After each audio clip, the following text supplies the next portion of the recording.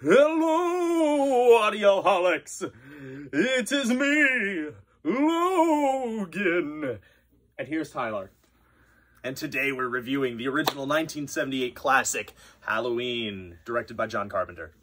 So we are going to be doing a Halloween movie every day uh, for 11 days, because there are 11 Halloween movies, until the new Halloween Kills, which will be coming out... October 15th. Yes. Yeah. So we'll be doing one every day leading up to that, and then we'll be reviewing that movie, which is going to be a lot of fun. I'm looking forward to it a lot. I was a big fan of Halloween 2018, though it did have flaws. But today we aren't talking about that movie. Today we're talking about the original, starring Jamie Lee Curtis as Laurie Strode. So uh, I guess let's just get right into the positives, and um, I'll start off by saying the soundtrack, right? Yes. Like one of the best soundtracks in film history, hands down. So Yes. many iconic moments and just eerie sections of music, and it's so minimalistic too. It's yeah, almost it's entirely so simple, just but it works so well. And, and, you know, minimalistic music can just set off such chilling atmosphere. And You can, yeah. That's really, I think, the movie's biggest strong point. L- I, Atmosphere. I, I think we can just transition into that is the atmosphere. Um, this might not be the scariest movie ever made. Even for the time, I would say Texas Chainsaw Massacre, which came out a couple years before this movie, I would say that is way more scary and More way intense. more intense, way more disturbing. Halloween, though, it is just creepy. Yeah, and there's no other yeah. way of describing it. Honestly, even to this day, it is one of the creepiest movies out there. You know, I, I always tell people, like, I used to watch this documentary series which examined cases where women were stalked. And, like, they would often, like, show stalking as, like, a representation of the case that they're talking about. And that shit was basically a horror show to me. Like, it Yeah. was terrifying to watch. It's so creepy. And that's what Halloween excels in. Like, just Michael staring at Laurie as she's walking from school, or, like, just stalking her home and then eventually to the babysitting house through the car. There's just so many creepy ass moments in this movie. And Michael doesn't even need to be doing anything really. Just his presence. You can feel his murderous intentions. Yeah. It's really creepy and disturbing at times. Uh, another big positive, and perhaps the film's greatest strength, is the cinematography. That that is a close second for me. Yeah, like the shot compositions and uh just like how they they choose to to film certain scenes. Like in Like the, the- opening scene when it's filmed almost entirely like one take. Even though it is technically two takes, there's a like a blink and you'll miss it cut, but it is Like- filmed almost Yeah, entirely like even if it take. is two takes, the concept of that is really cool. It's almost like it's almost like 20 years of foresight into like first person shooter games with like Doom and GoldenEye. You know, it almost looks like a video game, but it's not. It's a movie that came out in 1978. Yeah, the first person perspective. Like Halloween didn't pioneer that. That was very common in like giallo films in Italy, but like nonetheless, it's used really well here. And then of course there's like It's definitely like made it this definitely made that style popular, more yeah. popular here in the West, I would say. uh, I think one of the most unique aspects of the film, the film cinematography, is that like, was it was it Kubrick that said like he intends to make every frame a painting? I think that might have been Kubrick, but it could have been Hitchcock too. I don't remember. But John Carpenter does that in this movie. Almost every shot in this movie could be a painting. It could be a poster. And actually probably fucking is, especially in like the last act of the movie when Michael's killing people and chasing Laurie and shit. Like almost every shot is a poster or a shirt or something like that, a wallpaper because there's just so many amazing iconic moments like Michael in the hallway behind Laurie or him coming down the stairs or him like sitting up and looking at her or the head tilt when he's got like the kid pinned up on the wall. Like just so many iconic shots and moments from this movie. Even in the beginning even in the beginning uh like in the scene where he escapes there's like that scene with the the the fucking mental patients crawling around in the darkness. That again could be a wallpaper. It probably is somewhere. It's really well done. I love that aspect. And like on a similar topic to the cinematography, just the direction in general. Yeah. Um, you know, John Carpenter's really clever use of foreshadowing. Uh-huh. You know, you had um, what I believe to be an Elvis song, which would have been pretty timely because around that time Elvis had just died.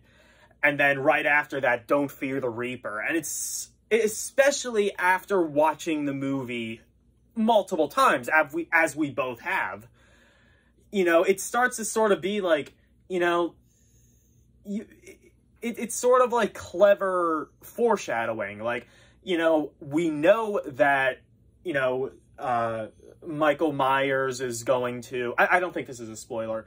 We know that Michael Myers is going to go on this murderous rampage. We know all this crazy shit is going to happen. So now that we know that, we can kind of appreciate the foreshadowing of, you know, just simple things like some of the stalking scenes and some of the scenes that seem to not really have anything, like some of the stalking scenes that don't seem to really um, do much of anything, but in reality are just really, a second time, just really insane, you know? And very creepy. Yeah, so I don't know. This is probably going to be one of the shorter ones because this is just a straight classic. There's not much to say Yeah. about it. Like, all of our positives are things people have said a million times about this movie. And, like, as for the mixed and negatives aspects, I can't even think of anything I dislike about this movie. I can't think of one thing. The only argument is that maybe Michael doesn't kill people in creative enough ways, but even that I kind of enjoy because I like the idea that this is just a man. This is just some kid who snapped and became a force of pure evil through that. He's just some fucking person. He's not like a god of or a superhuman creature like Jason. Like he's just a guy. And so a guy would kill people by choking and stabbing and like not by crushing their heads and shit like Jason does. So I will um kind of argue that a little bit. So there are flaws to this movie. Um I I love this movie, don't get me wrong. I don't love it as much as he does. And there are two main reasons for that. One, this movie is kind of a slow burn, and you can argue that that's a positive, and I Why is that a negative? well, because, like, nothing really happens until, like, the last, I don't know, 30 minutes of the film. It's Maybe, just it's kind like of like it's the building build- up atmosphere. Yeah, it's building up atmosphere, and, shit. you can argue, I understand why you can argue that's a positive. I just think my argument is that just means that you're watching a, what, hour and a half long movie, only about half an hour of which is really worth watching.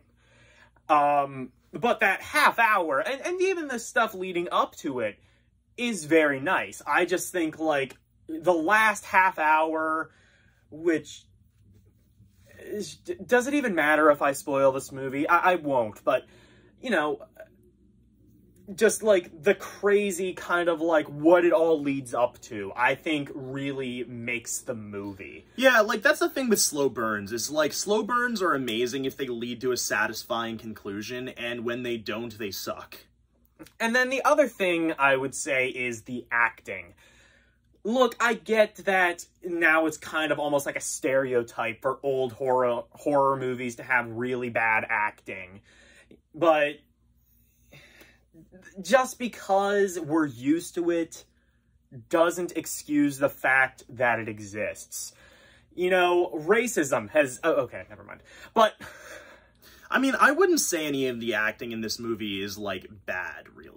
I would definitely say so, especially from a lot of the teens. Like Uh, Jamie, Jamie is Lee great in this movie. I, the I, kids di- are I great in this movie. I disagree. I, I Uh, like. her friend is great. The only one that kind of sucks is the one that says totally a lot. But even she, she's like barely. I, I think like uh, most of the acting is really kind of wooden. It's almost like they're reading the script for the first time. I or- don't know. I feel like you have to approach it from like this is how people talked back then. I think It's you're not- approaching no, it from too no, much of a like- modern perspective. Oh, okay, yeah, like yeah, the Valley Girl stuff. Yeah, th- no, that's just a sign of the times.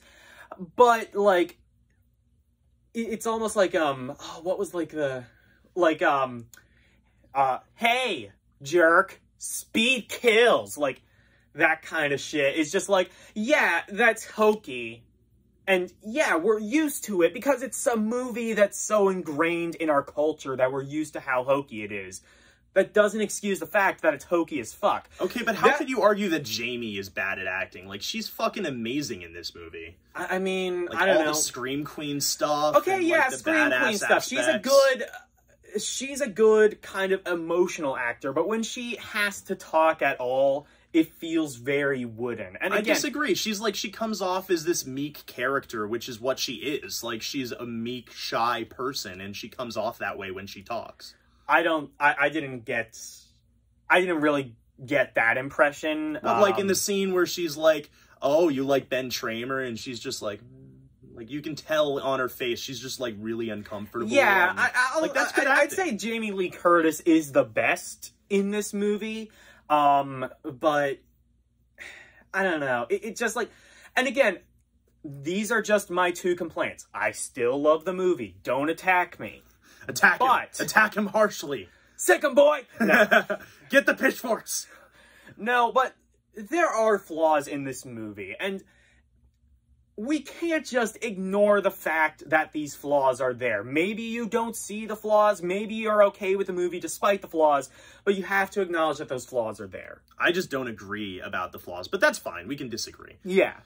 So, if do you have anything else to say? I say? have nothing else to say. Well, Bottom then, line, uh, the movie yeah. is fantastic. It's been a classic for the best part of 40, 50 years, whatever.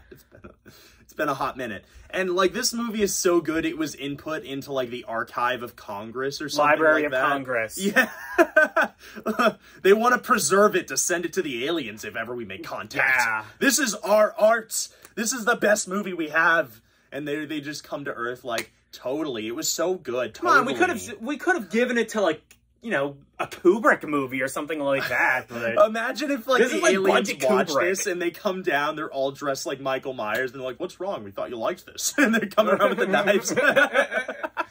oh no, no, even this worse. is human behavior. Even worse, they're all Laurie Strode screaming. They come and they're like, "Ah!" We thought we would take the form of something you would recognize. all right, guys. Well, tell us what you thought about the movie. Have you seen it? Let us know in the comment section below. But without further ado, we bid you Audio do. Bye everyone. Bye, guys.